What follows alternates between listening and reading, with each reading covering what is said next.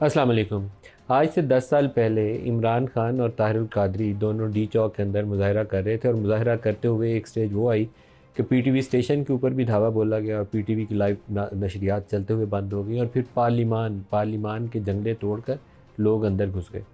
ये वो सूरत हाल थी जब उस वक्त उस वक्त की इस्टेब्लिशमेंट का और उस वक्त की पीटीआई और पैट का एक बाकायदा गठजोड़ था और अदलिया का। और गठजोड़ का हिस्सा जो था फाइनली कंक्लूड यहाँ पर होना था कि उस वक्त के वज़ी अजम नवाज़ शरीफ को खींच के बाहर लाया जाना था और या उसको एम्बेरस ऐसे तरीके से करना था कि वो स्टेप डाउन कर दे। ये एक अफसोसनाक वाक़ था पाकिस्तानी तारीख का और मैं बेशुमार दफ़ा पहले कहा है कि दो वाक़े पाकिस्तान की तारीख के ऐसे हैं, एक सुप्रीम कोर्ट के ऊपर धावा बोलने का और दूसरा ये पार्लियामान के जंगले तोड़ने वाला और पीटीवी स्टेशन का अटैक अगर इसके ऊपर प्रॉपर अकाउंटेबिलिटी कर ली जाती तो कभी नौ मई पाकिस्तान में ना होता। जिन लोगों ने ये आइडिया सोचा था कि पार्लिमान पे या पीटीवी पे धावा बोलेंगे तो उस वक्त की हुकूमत गिर जाएगी। उन्होंने बुनियाद रख दी थी कि नौ मई का वाक़ होगा।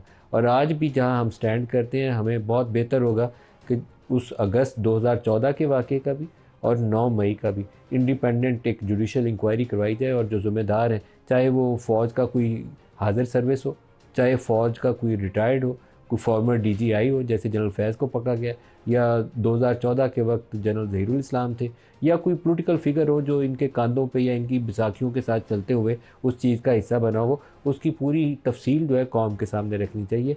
कौम खुद फैसला करेगी उनको रिजेक्ट करने का, किसी को मैनुफैक्चर करके केस बनाने की ज़रूरत नहीं है। ये शर्मनाक वाक़ात है पाकिस्तानी सियासी तारीख का, और इन वाक़ात की कोई गुंजाइश है ही नहीं है पाकिस्तान के अंदर। इसी तरीके से फैज़ाबाद के अंदर अंदर जो धरने थे वो धरने मैनुफैक्चर किए गए थे कि हुकूमत को गिराने के लिए अगर कोई रही कहीं कसर है तो आखिरी धक्का दें कि हुकूमत गिर जाए। कभी किसी ने जहमत नहीं की कि उसकी पूरी तफसील जो है कौम को बताई जाए कि उसके पीछे कौन था, कौन मुहर्रक था, किसने पैसा लगाया, कौन मास्टरमाइंड किसने किया उस चीज़ को। सच पूरा बताएँ तो रास्ता निकल आएगा। आज पूरे दस साल बाद, अगस्त 2014 से आज दोबारा पार्लिमान का जंगला टूटा है और आज जंग बुनियाद जो है सुप्रीम कोर्ट का एक फ़ैसला है और एक तंजीम जिसको हम मजहबी जमातें हैं सारी बुनियादी तौर पर उसके ऊपर, लेकिन आलमी मजलस तहफ़ ख़त्म नबूत इन्होंने आप पारा से पार्लिमान तक मुजाहरा किया, प्रोटेस्ट किया, जंगला भी तोड़ा और फिर सुप्रीम कोर्ट की तरफ़ भी गए। बहुत हसास नोयत का वो फ़ैसला है। मैं उसके ऊपर प्रोग्राम में पहले भी तबसरा करने से गुरेज़ किया, आज भी तबसरा उस फैसले के ऊपर करने से गुरेज़ करूँगा। सिर्फ़ एक फ़ंडामेंटल रियलिटी है जो हम सब के सामने रहनी चाहिए। वो फंडामेंटल रियलिटी ये है कि फ़ाइनलिटी ऑफ़ दी प्रॉफिटहुड। ख़त्म नबूत के ऊपर। नबी पाक वसल्लम अल्लाह के आखिरी नबी हैं इस बात के ऊपर। कहीं कोई गुंजाइश छोड़ी नहीं जा सकती। ये हमारे ईमान का हिस्सा है। और अगर इसके ऊपर कहीं कोई गुंजाइश है किसी वजाहत की, किसी चीज़ को खोल के बयान करने की तो उस मामले में किसी को गुरेज नहीं करना चाहिए, झिझक का शिकार नहीं होना चाहिए। बेसिक फेथ है ये। फाइनलिटी ऑफ़ द प्रॉफिट हुद हमारे ईमान का हिस्सा और मज़हब की बुनियाद है। इसके ऊपर कंप्रोमाइज़ भी नहीं हो सकता और कोई शायबा करीब से भी नहीं गुजरना चाहिए। और उस फैसले के ऊपर मैं प्रोग्राम में डिस्कशन करने से गुरेज करूँगा क्योंकि माजी के अंदर ऐसे वाक़ात लोगों की जाने लेने पर मुंतज होते रहे। लेकिन ये मामला अगर सुप्रीम कोर्ट और पार्लिमान में हज़ारों की तादाद में रेड जोन जिसे कहा जाता है, हमने बहुत सिक्योरिटी लगाई है कि यहाँ चिड़िया पार नहीं मारेगी, वहाँ इतना बड़ा हजूम आ गया। तो दोबारा इसको होने से गुरेज कर, रोकने के लिए कुछ वजाहत कर देनी चाहिए सुप्रीम कोर्ट को भी या हुकूमत को भी इसकी ओनरशिप लेते हुए। अगर मुझे नहीं मालूम, मैं टेक्निकल नॉलेज नहीं रखता इस चीज़ का, अगर वजाहत की ज़रूरत है तो वजाहत कर देनी चाहिए। जो हमारे रिपोर्टर हैं, कमर मुनवर साहब, वो हमारे साथ हैं। कमर साहब, बहुत शुक्रिया, आप हमें ज्वाइन कर रहे हैं। ये प्रोटेस्ट डी चौक में पहुँचा कैसे और पार्लिमान का जंगला कैसे टूट गया? ये तो कहा जाता है कि रेड जोन है, यहाँ तो प्रोटेस्ट भी नहीं हो सकता और कोई गैर ज़रूरी तौर पर इतमा भी नहीं हो सकता। तो इतनी, सकता तो इतनी बड़ी तादाद में लोग कैसे आ गए?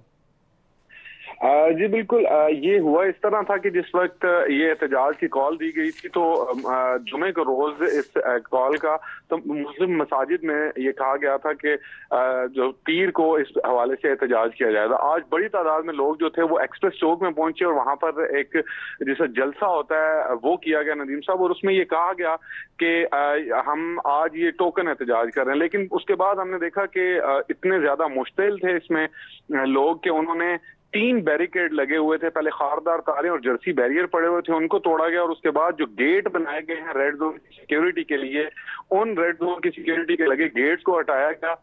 यहाँ पर 800 पुलिस एहलकार तैनात किए गए थे, वो तमाम पीछे खेल लिया गया और ये लोग रेड जोन में अंदर दाखिल हुए। पहले पार्लियामेंट के गेट के बाहर इन्होंने एहतजाज किया और उसके बाद सुप्रीम कोर्ट की तरफ़ मार्च करना शुरू किया। बल्कि जो जो पार्किंग है, जहाँ से जजेस के एग्जिट होता है, वहाँ तक जो है ये कारकुनान जो है, वो पहुँच चुके थे। इस दौरान तीन पुलिस एहलकार जो हैं वो जख्मी भी हुए शेलिंग भी की गई इनको रोकने के लिए लेकिन किसी तरह ये रोक नहीं पाए। जो सिक्योरिटी का हसार बनाया गया था मुकम्मल तौर पर वो ब्रीच हुआ। तीन बैरिकेड जो थे वो मुकम्मल तौर पर इन्होंने हटाए और उसके बाद रेड जोन के अंदर दाखिल होने के बाद ये पार्लियामेंट के बाहर पहुँची। फिर इन, इनकी अपनी क्यादत जो लाउड स्पीकर वाली गाड़ी में मौजूद थी उनकी जानब से ऐलान किया गया कि तमाम लोग जो है वो वापस आए और डी चौक के अंदर जो पार्लियामेंट का बिल्कुल सामने दरवाज़ा है वहाँ पर इन, उन उलमा ने खिताब किया और उन, उनकी जानब से कहा गया कि अब हम वापस वहाँ पर जाएँगे क्योंकि आज ये टोकन एहतजाज था और जिस दिन फैसला होगा हम वापस उस दिन यहाँ पर आएँगे और ये फैसला जो है वो सुना जाएगा पार्लियामेंट के बाहर। कमर नवर साहब बहुत शुक्रिया आपने हमें ज्वाइन किया। प्रोग्राम का जो हमारा है वो जनरल फैज़ और पाकिस्तान तहरीक इंसाफ इन दोनों के दरमियान में ऐसे क्या मामला थे जिनकी बिना के ऊपर नौ मई हुआ? हुकूमत का सारा इल्ज़ाम और सारा फोकस अब इसी के ऊपर है कि जनरल फैज़ ने सहूलत पहुँचाई या पीटीआई ने सहूलत पहुँचाई, एक ने मास्टरमाइंड किया, दूसरे ने उसको एग्जीक्यूट किया। और ये अब दोनों मुझे लगता है कि एक ही वो गाड़ी के सवारी के सवार नज़र आते हैं और वो गाड़ी जो है वो नौ मई है और नौ मई का केस है। इमरान खान ने आज मीडिया इंट्रैक्शन जो किया, उसके अंदर उन्होंने कुछ ऐसी स्टेटमेंट्स दी हैं जो इंडिकेट करती हैं कि वो भी शायद एंटिसपेट कर रहे हैं कि उनको जनरल फैज़ वाले मामले के साथ नथी करके तो 9 मई के केस में मिलिट्री कोर्ट्स में ले जाया जाएगा। उन्होंने आज कहा है कि फैज़ हमीद का ड्रामा मुझे मिलिट्री कोर्ट में ले जाने के लिए किया जा रहा है। फैज़ हमीद को मेरे ख़िलाफ़ वादा माफ़, गुआ बनाने की तैयारी की जा रही है। ये फैज़ हमीद है ये फैज़ हमीद से कुछ ना कुछ उगलवाने की कोशिश कर रहे हैं। ये फैज़ हमीद से कुछ बयान दिलवाएँगे कि 9 मई साजिश थी। फैज़ हमीद ने मेरी गिरफ्तारी का ऑर्डर किया, सीसीटीवी फुटेज चोरी की तो इसको पकड़ लें वो कह रहे हैं कि अगर फैज़ अमीर ने काम किया था तो फिर उसको पकड़ लें अगर फैज़ अमीर ने मेरी गिरफ्तारी का ऑर्डर नहीं किया तो फिर ये आगे उनका कंडीशनल एक स्टेटमेंट है, कमर जावेद बाजवा ने मेरी कमर में छुरा घोंपा। कमर जावेद बाजवा ने नवाज़ शरीफ से डील करके फैज़ अमीद को अहदे से हटा दिया था। ये इमरान खान के इल्ज़ाम हैं। एक अलीमा खान का स्टेटमेंट है, वो सुन लें तो फिर की तरफ़ आते हैं। अलीमा खान को ख़दशा है कि इमरान खान को ख़त्म किया जा सकता है। दिखाइएगा। जी हमें ये भी इतला मिल रही है कि इमरान खान की को एलिमिनेट करने का फैसला हुआ अगर ये मकसद ये है कि जल्दी से अलकादर में कन्विक्ट करें और तीन महीने इनको जेल में रखें, क्या इमरान खान को इसलिए कर रहे हैं ताकि उनको ये एलिमिनेट कर दें, उनको ये ख़त्म कर दें? जो आज हमारे साथ पैनलिस्ट हैं, सलमान अकरम, राजा साहब हैं, पाकिस्तान तहरीक इंसाफ से और आबिद शेर अली साहब हैं पी एम एल एन से। राजा साहब, फैज़ हमीद और इमरान खान, क्या आपस में दोनों का क्या ऐसा ताल्लुक था जो नौ मई में दोनों को इकट्ठा कर देता? कोई ऐसा ताल्लुक नहीं था, ताल्लुक नहीं था। देखिए, ये तो एक कहानी बनाई जा रही है ना। कल को वो कह देंगे, करण थापड़ ने नौ मई कराया। करण थापड़ ने शायद किसी को कत्ल करवाया। इस वक्त तो एक बिल्कुल बदहवासी का आलम है। कोशिश ये है कि किसी तरह पीटीआई, इमरान खान को ख़त्म किया जाए आवाम के दिलों से तो निकाल नहीं सकते। इसलिए अदालती अमल को इस्तेमाल करें। झूठे मुकदमों की पहले भरमार हुई है। रोज़ हम अदालत में देखते हैं, जज भी सर पकड़ के सटपटाते हैं कि क्या करें।